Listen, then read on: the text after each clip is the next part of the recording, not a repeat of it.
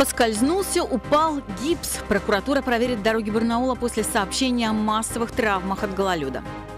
Вода во дворах, погребах и углярках в камне на Оби устраняют последствия коммунальной аварии.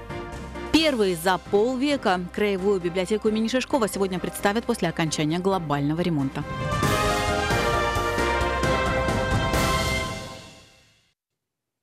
Наши новости начинают свою работу в эфире. В студии Татьяна Голубева. Здравствуйте. Прокуратура края проверит состояние дорог в Барнауле после массовых жалоб горожан на сильный гололед.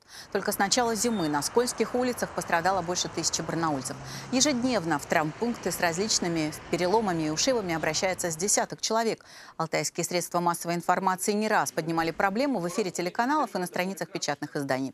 В итоге прокурор Барнаула Владимир Елизаров организовал проверку по поводу того, что по поводу того, насколько соблюдается закон по содержанию уличной сети. В дорожной ревизии примут участие сотрудники районных прокуратур, краевой столицы и полиции.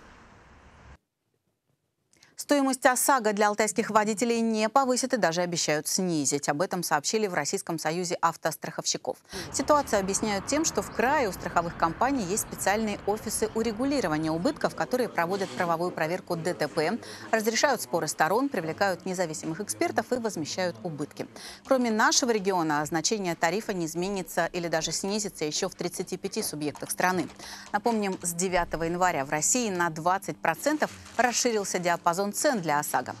Предельная стоимость страхования выросла более чем на 800 рублей. В связи с этим ряд крупнейших компаний страны в других регионах уже подняли стоимость полиса для легковых машин сразу на 15-20%. Камни на Оби из-за коммунальной аварии оказались подтоплены несколько частных домов. Порыв обнаружили накануне вечером. Вода затопила территорию двух домов на улице Ворошилова, подполы, подвалы и хранилища для угля. Сейчас в пострадавших домах откачивают воду. Из соображений предосторожности жителям подтопленных строений и их соседям отключили водоснабжение. Заместитель директора муниципального предприятия «Каменские теплосети» Александр Кунц прокомментировать происходящее отказался. Это же «Каменские теплосети»? Да. А можно, пожалуйста, поговорить с Александром Кунцем? У нас вопрос по поводу аварии, которая произошла. Не туда вы.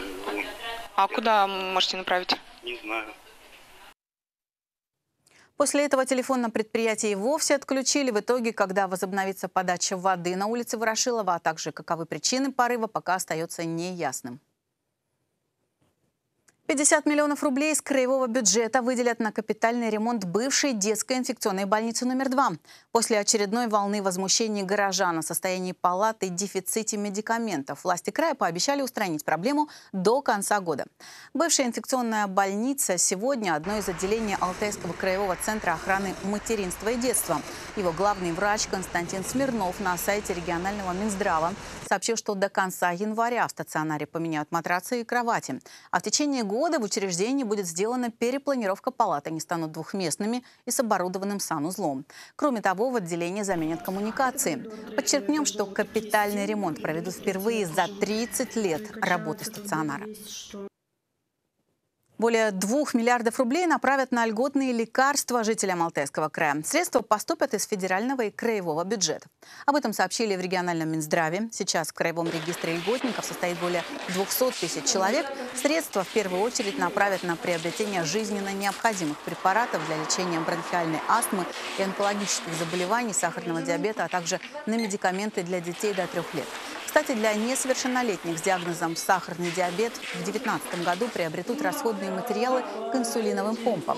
Отметим, что в крае несколько лет наблюдается острая проблема с нехваткой лекарств для диабетиков.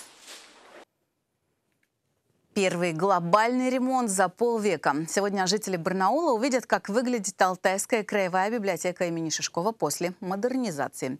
В Комитете по культуре сообщают, что на первом этаже здания кардинально изменился интерьер и оборудование. Например, теперь в Шишковке есть свое кафе. Слабовидящие посетители библиотеки смогут работать на специальных компьютерах. Всего на проект по трансформации Шишковки было выделено 12 миллионов рублей из краевого бюджета. Подробнее расскажем в ближайших выпусках. И в завершении выпуска о погоде спонсор прогноза погоды – компания «Валар». А какой глицин принимаете вы? Принимайте глицин Форте Эвалар. Он отличается высоким содержанием глицина, усиленного витаминами для мозга. Качество гарантировано международным стандартом GMP. Глицин Форте Эвалар. Почувствуйте разницу. В крае ясно и тепло. В Славгороде и Камне-на-Оби 8 градусов мороза.